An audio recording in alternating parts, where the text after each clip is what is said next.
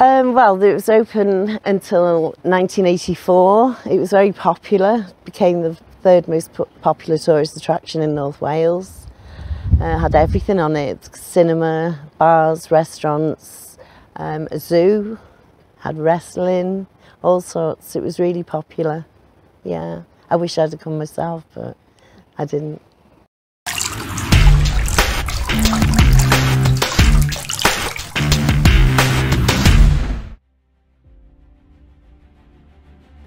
Yeah, um, 1979, it was August 1979.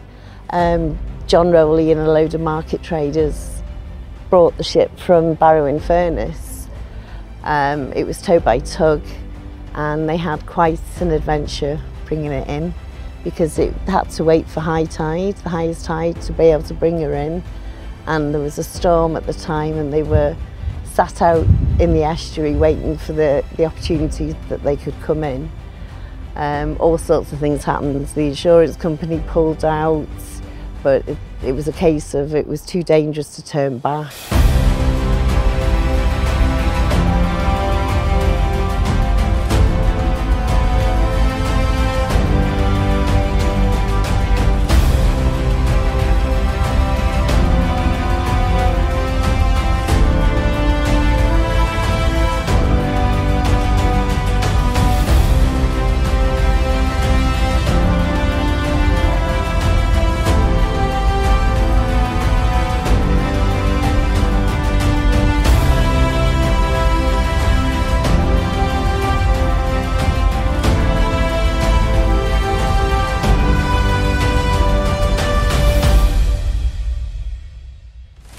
Um, DOLAS is the Duke of Lancaster Appreciation Society on Facebook.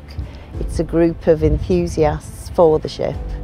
Uh, I think we've got 1,500 members now.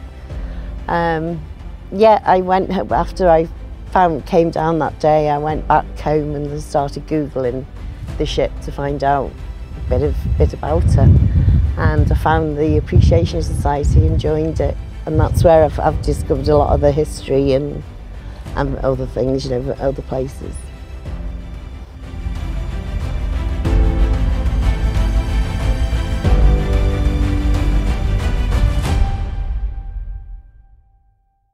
There's been quite a lot of issues with the council. Um, when it first arrived, there was 12 months discussion John Rowley had with the council and who were all in favour of the venture and were so excited that she was coming here. And then the day she arrived, they seemed to change their tune. And from then on in, they just attacked it with whatever they could. And when I say attacked, they certainly did attack. It's as if the ship doesn't exist. It's been here since 1979. Um, from planning permission refusal um, to bar licences. They even sabotaged a grant for landscaping. Um, anything that they did, the council tried to scupper it. They have funding which they're willing to give to other people for projects, but we seem to get overlooked every single time. So who knows why? But, you know, it did open eventually. Um, and as I say, it was, it was really popular. And then they carried on with the attack so much so that John Rowley decided to close the business and you know concentrate on other ventures elsewhere but always vowed to come back because they were so sick of being attacked.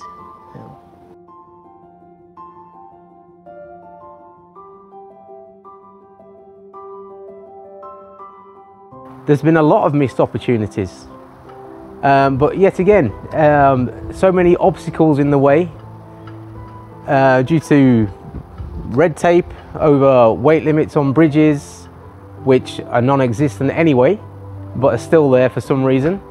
So there's been a lot of missed opportunities. The bridge, which is over there to the to the back of the ship, the Cobb Road, is the the only road that you can come with emergency services because the railway underpass is very low. Um, now in 1979 the, the council refused planning permission on the basis that it could only take 10 tonne in weight. But in those days they found an alternative route by just a bit further down. It put extra response time to the time that the fire engines could get here. But planning permission was eventually granted and they opened. But that's, that access is gone now. So that's why the ship's been shut for nigh on 40 years because the emergency services couldn't get here. Doing a lot of research and various discussions with certain bodies, we discovered and proved that the bridge isn't a weak bridge. It can actually carry 40 tonne and it's, it's yeah, yeah. I'm Cal. I'm Craig. And we run a company called North Wales Concerts based here in North Wales. I think, I mean, just look around, it's a massive ship just like stuck in the middle of North Wales. It, that alone makes it unique, doesn't it? Oh yeah. And then, you know, you look at the sort of the different areas you could have sectioned off for a music festival. It's like, for a little small music festival, it's perfect, isn't yeah, it? Yeah. Um, we keep going back to funding. If the funding was there, the area would thrive. The local community would thrive, the local businesses would thrive. We'd get a lot more tourists into this area. I think just by allowing allowing it to be whatever the owners want it to be now, you know. Can you imagine what she would have done if she was allowed to be what they intended all those years ago? You know, there was jobs, it was so popular it's it's a crying shame really, but it happens and we just got to move on. With the right investment, big opportunity for all kinds of sailing clubs to be involved here, different activities. This is an ideal place for a hoverlink from here over to the Wirral, make it easy access into Liverpool, cuts the journey time in half you know, we've had events on the dock and stuff. They've been successful and we hope there to be many more. And any revenue gain can go back and ploughed into maybe getting the ship restored and reopened once again as the fun ship. Um, in the past year, we've had a food festival here. Um, also, we've had a Christmas market.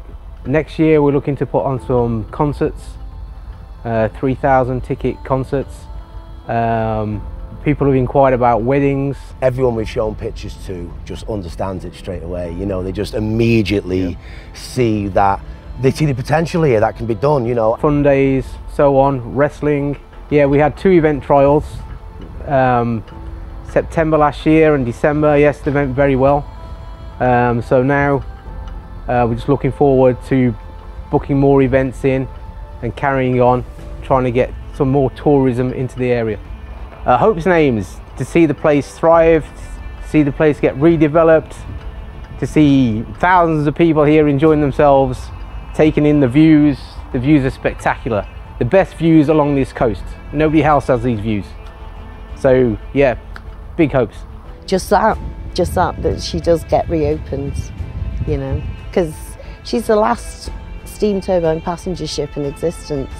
The history in itself is, is well worth saving it'd be a shame to lose it. You know, really well. If she if she ever goes from here, it'll be such a sad day. Know.